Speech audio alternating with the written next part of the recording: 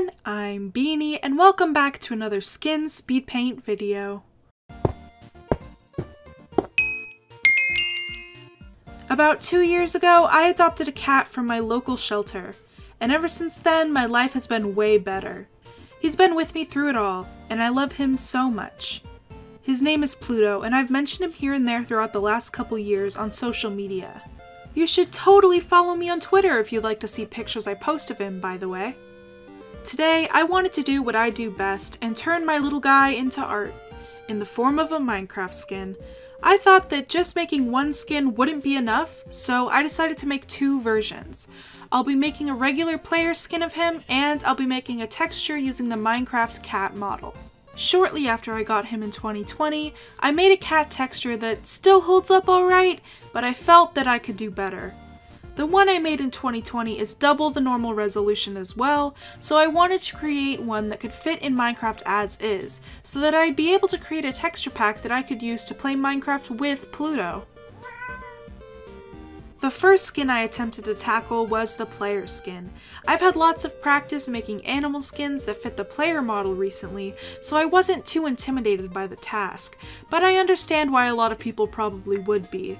It takes a lot of planning to try and make sure the animal still resembles an animal after you've drawn it on a human-shaped model. Originally, I was just going to create Pluto's skin outright, but I instead decided to first create a plain white cat skin. I did the same thing with the cat texture later on. This not only helps me plan out where his black spots went better, but it also gives me the opportunity to easily make other cat skins using the same design. I might open up the possibility for my Patreon supporters to request I make their cat in the future. On that note, I have a Patreon now! Most of my posts lately have been free skin bases that I advertise on Twitter, but I do have some cool content there for my supporters as well. There isn't much yet, but I do have a couple text and image tutorials for the Sprout tier, and a set of skin tone bases for the Blossom tier, as well as tons of extra skins and alternate versions of skins that I showcase on Twitter. Now, let's get back to talking about these skins. I decided to create Pluto's skin with his tail sticking up but curved, because that's how he normally has it in real life. Cats stick their tails straight up when they're really happy and excited, and Pluto often does that, but mainly he keeps it in a curved but upwards position otherwise. To really make the paws seem like paws and not just stumps, I wanted to make sure to shade them with the lightest shade where the toes would be. Luckily, I have the luxury of using the overlay on this version of Pluto because it's using the player model, but most Minecraft mob models don't have that feature. So I took advantage of that and made the paws 3D as well. You might have noticed that I also added the tail to the overlay earlier. Pluto has some very interesting and unique patterns in his fur. I kinda think that the white line on his back looks like a lightning bolt, and sometimes one of his spots looks like a heart. He was taking a nap while I worked on these, and I didn't want to disturb him, so I had to rely on reference images I'd previously taken. When I started to add his markings to the skin, I did so using one of the black shades with the opacity set at 50%. This is so I'd be able to see how the pattern looked without having to commit to it. It allowed me to edit the pattern before fully coloring it in, and I think that was really helpful. Once I was fully happy with the pattern, I started filling it in.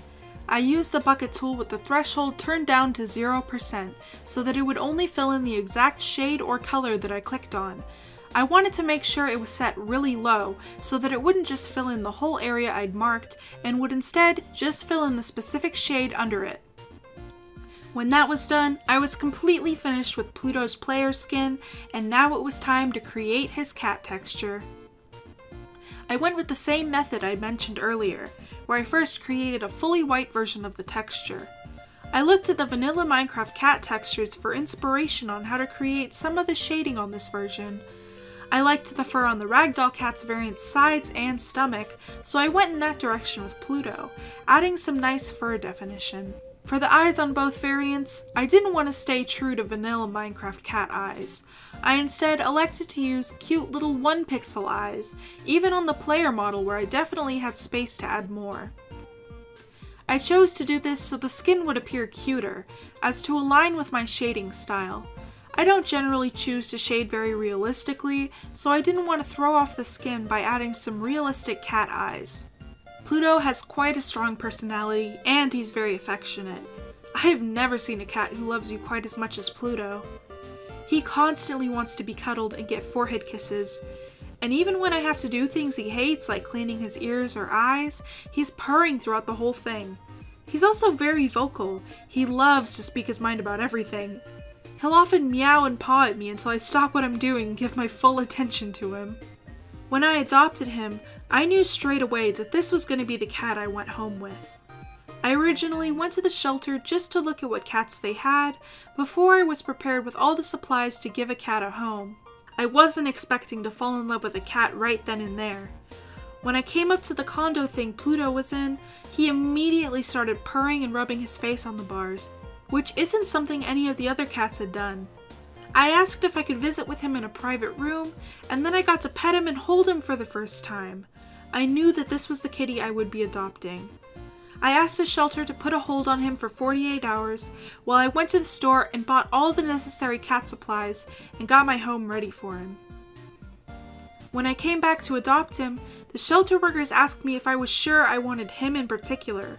They told me he had been reabandoned at their shelter twice within the last couple of months because of behavioral problems, and on top of that, he had some ongoing medical issues that would have to be taken care of. But those things didn't matter in my decision because I was prepared to do everything I needed to do to give Pluto a good home. When I brought him home, I did experience a little bit of the behavioral issues that were described, but that and his medical stuff would never be anything I'd return a cat to the shelter for. It honestly wasn't even too bad. I always get really sad thinking about how Pluto is the absolute best cat I've ever met, but he kept getting returned to the shelter. I'm very happy that I'm able to give Pluto his forever home and love and spoil him every day. I couldn't imagine having a different cat, and I'm very glad that our paths crossed. Alright, that's all the Pluto exposition for this video. Now to get back to the speed paint narration. I also wasn't able to make his multicolored toe beans accurate in either of the skins because I didn't have a reference picture handy for his toes. And I again didn't want to wake him from his nap, but I tried my best to add some variation on both models. After I finished that, my skins of Pluto were complete. Now it was time to create a simple texture pack of Pluto's cat texture and show him off in-game.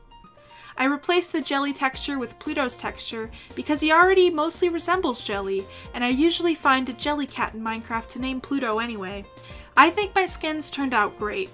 The player skin looks a little cursed, but I think it matches Pluto's energy perfectly. I'm really looking forward to playing Minecraft with Pluto soon, and if he ever decides to learn how to play, now he has his own player skin. Thank you guys so much for watching this video, I hope you enjoyed. Please check out the links in the description for my Twitter, Patreon, and Discord server. I hope you have a wonderful day and a happy 2022. Bye!